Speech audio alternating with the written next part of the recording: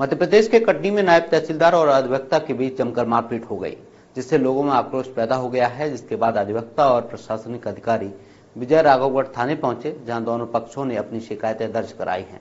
वहीं पुलिस ने दोनों को समझा बुझाकर मामला शांत करवाया है और उचित कार्रवाई का आश्वासन दिया है।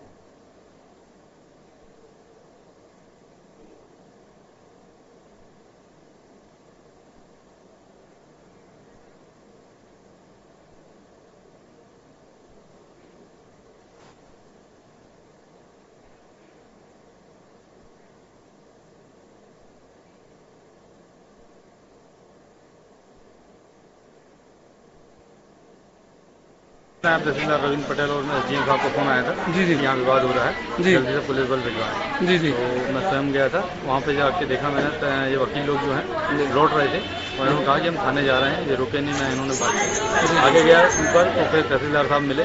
उन्होंने बताया कि वकीलों के साथ वापस आया पीछे पीछे जो है दूसरा पक्ष भी राजस्व अधिकारी भी आए हैं।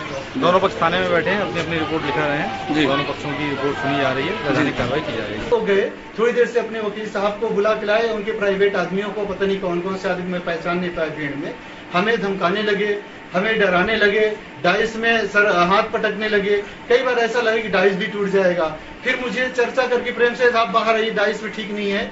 वकील है तुमने लगा कि डाइस में अगर कहते हैं किसी भी पदस्थ अधिकारी को तो एक अपराध होता है। तो उन्हें हमें प्रेम से बाहर ले गैलरी में और गैलरी में हुआ उनके प्राइवेट आदमी हमें खूब मारे पीटे हमारे शर्ट भी फाड़ दिए क्योंकि कैडर की बेइज्जती ना हो इसलिए मैंने सारी चीज़ स्टेपल लगा के रखा है। जगह जगह चोट लगी है मैं ये देख लीजिए आप। हाँ। इस तरीके जानलेवा हमला किया। मेरे वहाँ पर वकील साथी पंद्रह मिनट तक लपट करके का-